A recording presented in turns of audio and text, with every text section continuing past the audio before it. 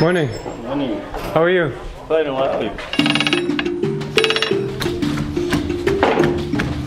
All that is sheep fur being dried out in the sun. The colorful Namibian coastal town of Swakopmund is filled with life, joy, food, beer, sand dunes, palm trees, flamingos, and ocean views. But tucked away one mile outside the city center is a place called Karakulia Weavers.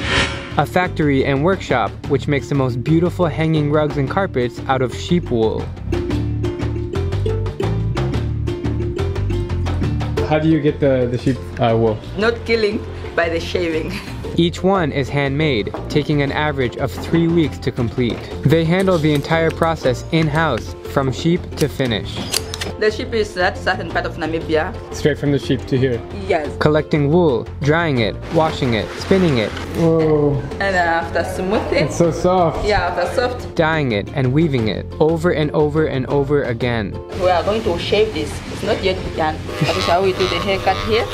And then it's smooth. Some of their employees have been working here since it opened 40 years ago. Like this lady. I will put the hours. How oh, by hours? Um, so how, much per, how much per hour? $13 hour. The creativity comes in the design. All the carpet will be same both sides.